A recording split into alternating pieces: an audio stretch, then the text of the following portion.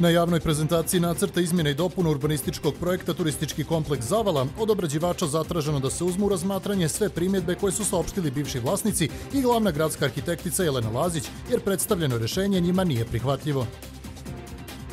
Povodom predstojećih prvomajskih i uskršnjih praznika, javna preškolska ustanova Ljubica V. Jovanović-Maše neće raditi od 1. do 6. maja. Za osvajača bronzane medalje na Evropskom prvenstvu u boksu u Beogradu Tomislava Đinovića Ministarstvo sporta i mladih u Podgorici upriličilo prijem. Sjutra promjenjivo oblačno sa sunčanim intervalima tokom drugog dijela dana lokalnu skišu ili kratkotreni pljusak. Najviša dnevna temperatura vazduha do 27 stepeni.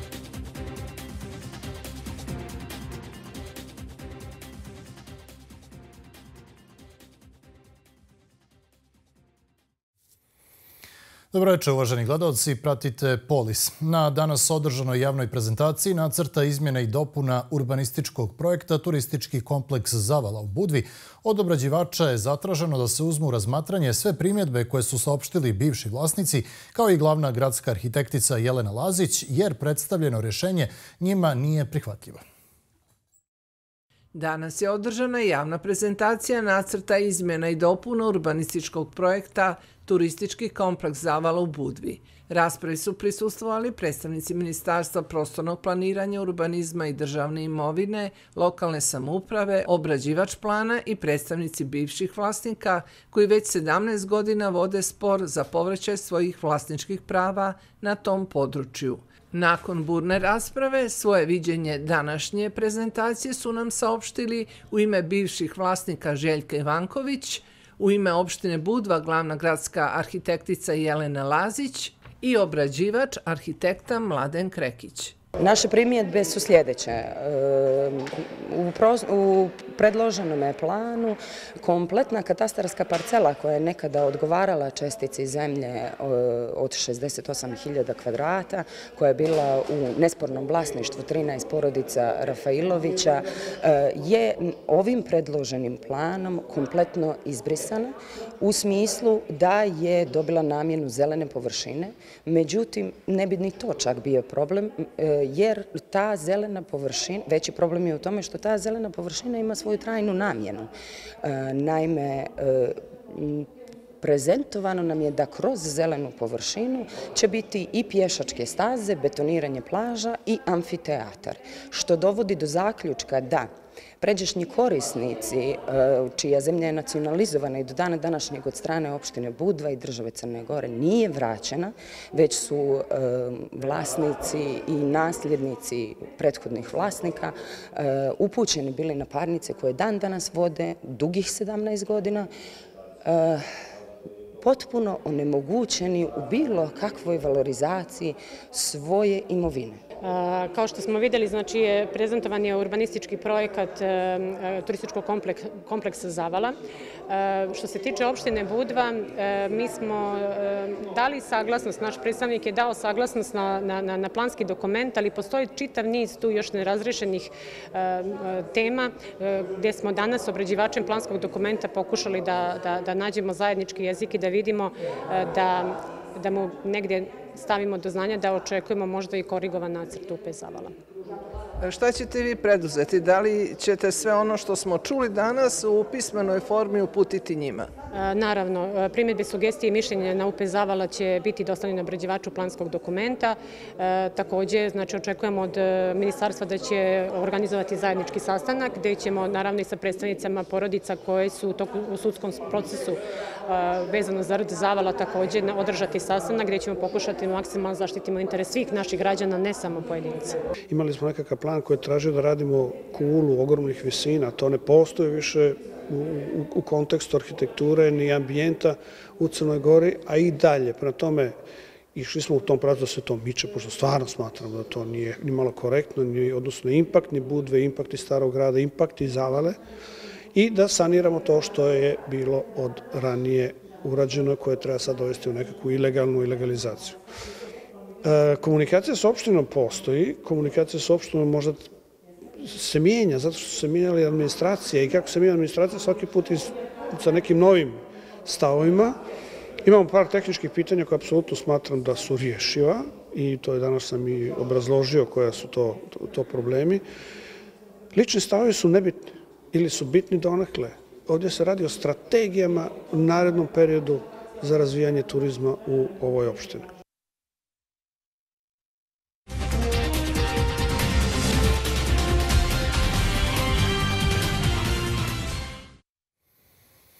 Iz turističke organizacije opštine Budva podsjećaju građani i posjetioci izmjeni režima saobraćaja u Budvi s jutra od 17 sati, totalna obustava saobraćaja južnom stranom Donjeg bulevara uz hotel Brcera i od 19 sati 30 minuta totalna obustava saobraćaja južnom stranom Donjeg bulevara od hotela Bracera ulicama Solunska i Slovenska obala, to jest šetalište, nova obilaznica do glavnog gradskog trga.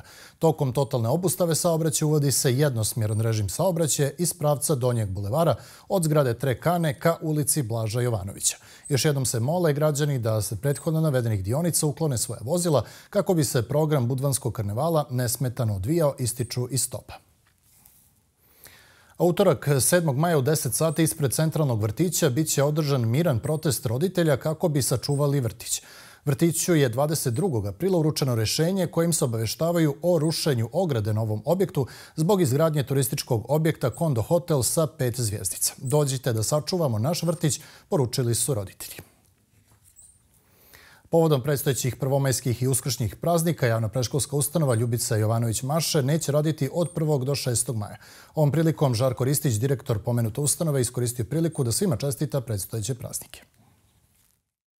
Žarko Ristić, direktor javne predškolske ustanove Ljubica V. Jovanović-Maša je istakao da u skladu sa zakonom o državnim praznicima kao i zakonom o svetkovanju vjerskih praznika, vrtić neće raditi, uprko interesovanju mnogih roditelja za dežurstva u ovoj ustanovi. Povodom obilježavanja prvomajskih i vaskršnjih praznika, naša ustanova neće raditi srijeda prvi, četvrtak drugi maj, petak treći maj i normalno dan posle vaskrsa, to je ponedeljak. Tako da ćemo imati jedan mini odmor i ja ovom prilikom želim da svima koji slave čestitam vaskršnje praznike. Mi smo dobili e, tako neka pitanja od roditelja i mailom i ovako u razgovoru i moram kazati da se mi ponašamo kao i sve državne ustanove kada su u pitanju državni praznici i praznici uopšte, tako da mi nemamo dežurstva u toku vaskršnjih i prvomajskih praznika. Naša ustanova Ljubice Ivanović Vaše ne radi, dorekao sam pomenutog utorka, a to mu dođe 7. maj. Tokom ljetnjih mjeseci, kao i uvijek, bit će organizovana dežurstva. U ljetnjem periodu organizujemo takozvano e, dežurstvo. U stvari rade samo e, vrtići Sveti Stefan Petrovac i Centralni, a onda u augustu, postogo augustu, rade Centralni Petrovac, tako da pokrijamo čitavu teritoriju i to je do sada funkcionisalo kako treba, nadamo se da će i ove godine. Podsjećamo da su kapaciteti vrtića prevaziđeni za 1560 upisanih vrtićana. Uprko stoji činjenici još uvijek nema ni jedna pozitivna vijest o izgradnji novog vrtića. Mi nećemo prestati da apelujemo, da razgovaramo, da tražimo. Sada za sada ne možemo kazati da ima jedan pozitivan signal u vezi toga, tako da, ali vjerujemo u nadležno u Podgorici i vjerujemo u opštinu ljude koji se bave tim pitanjima, čija je to nadležnost, u opštini bude, vjerujemo da će naći neko rešenje. Ristić je ovu priliku iskoristio da uputi apel da se pronađe način za izgradnju novog vrtića i da se pomogne, kako kaže, našoj djeci. Predsjednik Udruženja budvanskih penzionera Nikola Zec, gostujući u jutarnjem programu, najavio je da u narednom periodu slijede brojne aktivnosti za njihovo udruženje sa akcentom na organizovanje izleta i sedmodnevnih odmora. Udruženje budvanskih penzionera za svoje članove organizuje izlate i odmor u Ulcinju i na Žabljaku po veoma povoljnim cijenama. Svakoga ko želi da se prijavi, mi navodimo neki modus da mu pomognemo da on ode na tamo gdje želi. Međutim, ne možemo uvijek jer e, upis za odmor i rekreaciju je počeo već od već od od januara, uh februara.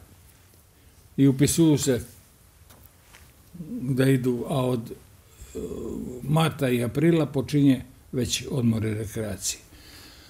Ulci može, ima daleko veće kapacitete nego na Žabljak. Na Žabljak imamo hotel Gorske oči, jedan broj je određen za penzionere i imamo odmaralište veliko, isto na žabljaku koje koristimo i šaljemo, šaljemo naše penzionere.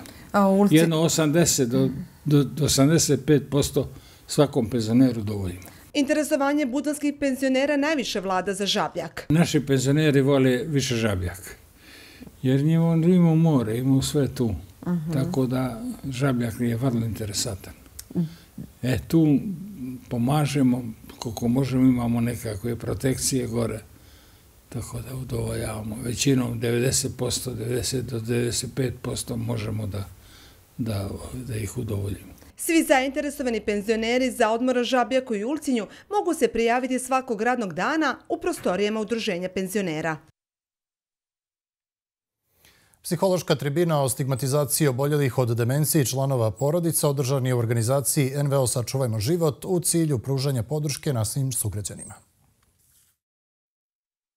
Nevladina organizacija Sačuvajmo život organizovala je još jednu psihološku tribinu o antistigmatizaciji oboljelih od demencije. E, tema je bila jako interesantna i jako bitna u pitanju antistigmatizacije kada je u pitanju e, demencija. E, prosto demencija je svugdje u svijetu i kao prioritetna jedna oblast i prosto bolest koja je uzela maha, pa tako bi trebali u Crnoj Gori da se odnosimo i prema njoj, tako da jeste karakteristično da na Balkanu, a posebno kod nas u Crnoj Gori, jeste izražena stigma kada je u pitanju demencija i mislim da ovakva okupljanja, tribine, okrugli stolovi, pa samo i prosto e, pružanje nekih servisa i podrška e, u mnogome pomaže da se razbije stigma i ja se nadam da će biti ovakvih tribina i okupljanja mnogo više jer moramo kao društvo da se uključimo, da prvo razumijemo šta je to demencija, a onda koje probleme nosi i koje posljedice na osobu koja pati od demencije i na člana porodice. Orahovac ističe da je jako teško suočiti se sa demencijom člana porodice, te da je za to neophodna podrška, što i jeste jedan od ciljeva pomenute tribine. A, jako je teško suočiti se, ali zato vam treba prosto podrška. Prvenstveno treba podrška a, ljekara, medicinskog osoblja. Kada kažem ljekara, mislim na a, prosto pravilno uspostavljanje diagnoze, što ovaj, podrazumijeva odlazak kod neurologa i psihologa, naravno i a, psihijatra ukoliko je, ukoliko je potrebno, a onda potražiti pomoć e, e, zašto ne nekoj možda organizaciji koja se baš bavi demencijom, jer e, konkretno mi u nevladinoj organizaciji Futuran smo osnovali baš iz tog razloga, jer smo i mi imali u porodici člana oboljelog od demencije, što nas je i navjelo da prosto samim angažovanjem i prosto osnivanjem takve organizacije izmijenimo nešto kako u zdravstvenom, tako i socijalnom sistemu, pa i u samom društvu. Ali jako je teško, ali uz podršku E, kako kako članova, ostali članova porodice, sistema i društva može se prosto prevroditi bolest kao svaka ovaj druga, ali ako to držimo po tepih i ako krijemo da to postoji u našoj porodici, onda jesmo u problemu. Kako bi pomogli našim sugrađanima oboljelim od demencije, Orahovac se nada da će i u Budvi otvoriti dnevni centar. E, mi smo imali ranije savjetovalište u Budvi, ali nažalost nije bilo ovaj, održivo jer nam se nije toliko građana Budve i ovog dijela ovaj, primore javljalo, ali se ja nadam da ćemo kroz neke kampanje i jednog pokreta koje osnivamo tačka sjećanja prosto e, negdje pridobiti pažnju i da ćemo e, prosto sarađivati pa možda i otvoriti dnevni centar, što da ne, imamo ga u Nikšiću. Mislim mislim da Budva zaslužuje da ima dnevni centar, prosto osobe koje pate od demencije da zaslužuju da imaju kvalitetan tretman i njegu osim one koje imaju u svojim domovima. Predavači na tribini su bili specijalista psihijatrije dr. Jovo Dedović, novinarka Dušica Vugdelić, specijalista psihijatrije i psihoanalitičar dr. Srđa Zlopaša, sportista i aktivista Luka Vučković i direktorica i osnivač nevladine organizacije Futura i direktorica Dnevnog centra za osobe sa demencijom u Nikšiću Alma Orahovac.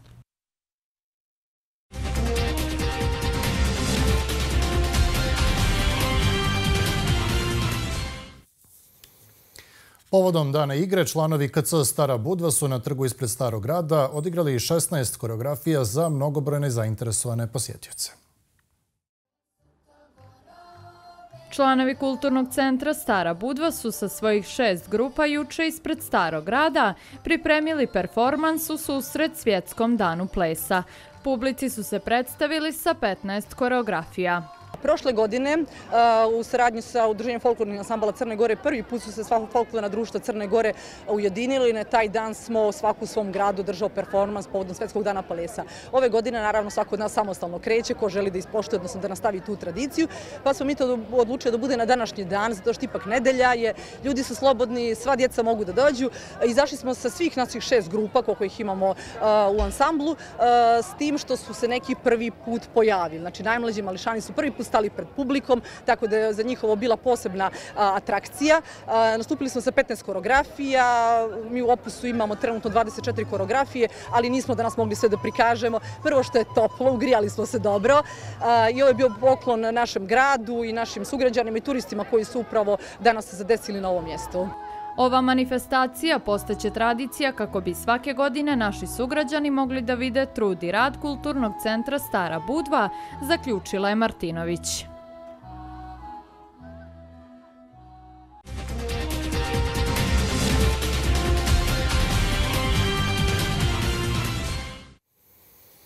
Za osvajača bronzane medalje na Evropskom prvenstvu u boksu u Beogradu Tomislava Đinovića, Ministarstvo sporta i mladih danas je u Podgorici upriličilo prijem. Bronzana medalja na seniorskom šampionatu Evrope u Beogradu kruna je do sadašnjeg rada i veliki motiv za još bolje rezultate i sjajnije medalje, kazao je crnogorski bokser Tomislav Đinović. Zahvalan sam e, predsjedniku Aleksandru Klemenku, e, selektoru Nikoli Ružić, Ministarstvu sporta i naravno mom ličnom treneru Momčilu Zlatičanim. E, do medalje sam teško došao, ali sa napornim radom i sa mnogim kampovima koje su se dešavali u Budvi. E, to je mnogo iskustva za mene i uspio sam uz moj trud i trud mojih trenera i svih ostalih da dođem do Evropske seniorske medalje posle 24 godine i mislim da Crna Gora treba da bude ponosna na reprezentaciju, boksersku reprezentaciju Crne Gore. Njegov trener u klubu, Momčilo Zlatičanin, kazao je da je ponosan na rezultat i medalju Đinovića, navodeći da je za njegov rezultat najzaslužniji selektor Nikola Ružić. Za ovaj uspjeh je najviše zaslužen e, selektor Nikola Ružić koji nam je omogućio i vjerovao u nas. I naravno gospodin predsjednik Lemenko koji nam je omogućio e, u par zadnjih godina i dobar rad i dobar trud. I mislim da sa ovakvom ekipom sa ovakvim stručnim stabom možemo da goramo mnogo. Ružić je kazao da je srećan zbog uspjeha Đinovića, navodeći da on najveći heroj Evropskog prvenstva. To je momak koji je sa samo 19 godina uspio da ispiše istoriju u smislu uh, osvojuje prvu medalju u našoj Crnoj Gori u nezavisnoj državi. E, prije samo par godina s, e, to je izgledalo kao, da kažem, nemoguća misija. Osvojiti seniorsku medalju na velikom takmičenju.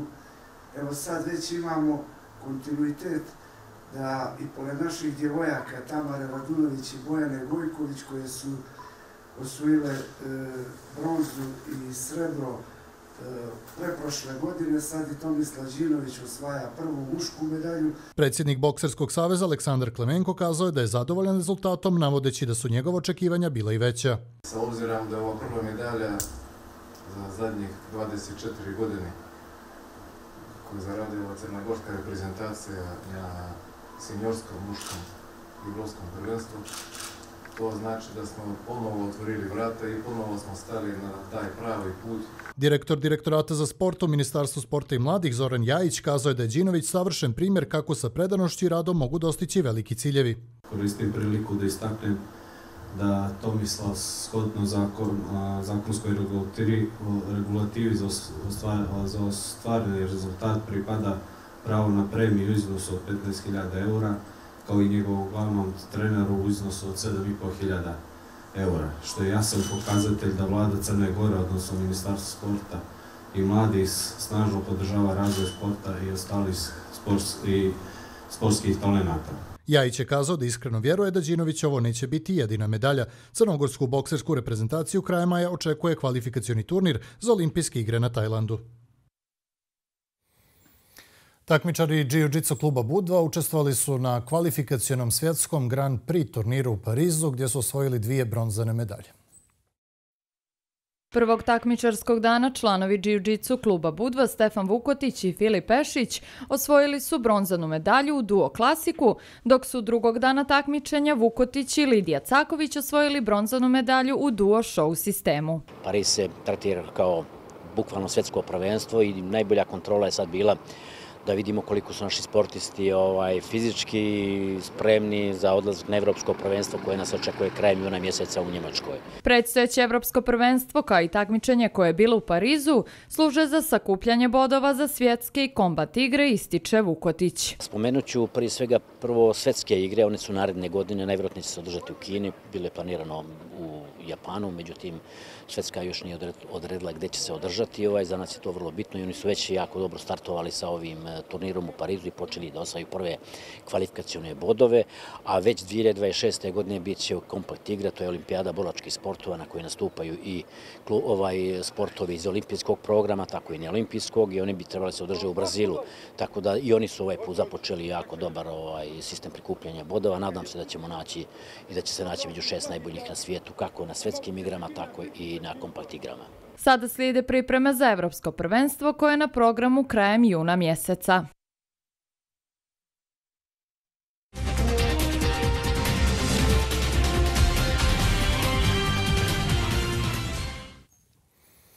Sjutra će biti promjenljivo oblačno sa sunčanim intervalima, najviša dnevna temperatura vazduha do 27 stepeni.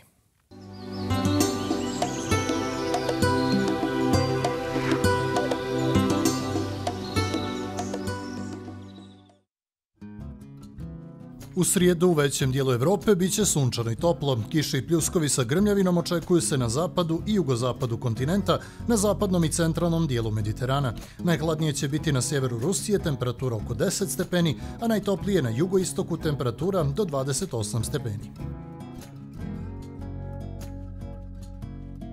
Na Balkanskom poluostrvu srijedu sunčano i veoma toplo, tokom dana na sjeverozapadu, zapadu i jugozapadu na oblačenje sa pljuskovima i grmljavinom, naročito u oblasti Jadrana. Maksimalna temperatura bit će od 22 do 28 stepeni.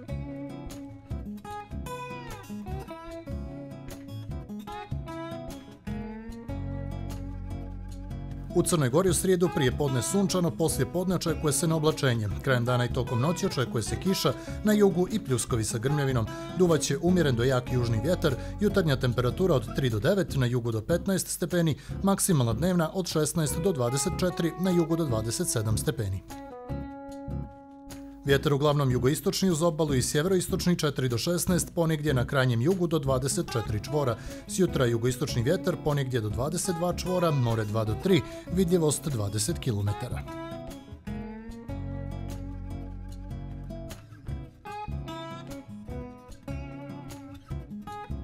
Na sjeveru oblačno tokom drugog dijela dana lokalnu skišu dok se na krajnjem sjeveru očekuju duži periodi suvog vremena.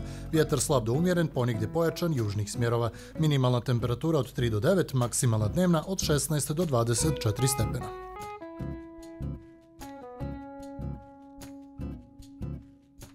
U Budvi sutra prije podne sunčano, popodne umjereno oblačnom, duvaće slab zapadni vjetar.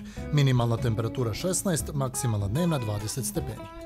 Pogledajmo kakvo nas vrijeme očekuju budvi narednih dana.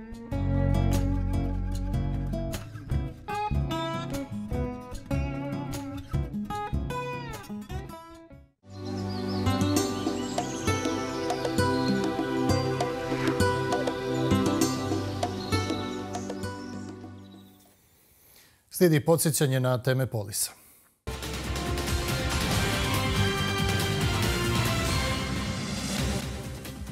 Na javnoj prezentaciji nacrta izmjene i dopuna urbanističkog projekta Turistički kompleks Zavala od obrađivača zatraženo da se uzmu u razmatranje sve primjedbe koje su saopštili bivši vlasnici i glavna gradska arhitektica Jelena Lazić, jer predstavljeno rešenje njima nije prihvatljivo. Povodom predstojećih prvomajskih i uskršnjih praznika, javna preškolska ustanova Ljubica V. Jovanović-Maše neće raditi od 1. do 6. maja. Za osvajača bronzane medalje na Evropskom prvenstvu u boksu u Beogradu Tomislava Đinovića Ministarstvo sporta i mladih u Podgorici upriličilo prijem. Sjutra promjenjivo oblačno sa sunčanim intervalima tokom drugog dijela dana lokalnu skišu kišu ili kratkotreni pljusak. Najviša dnevna temperatura vazduha do 27 stepeni.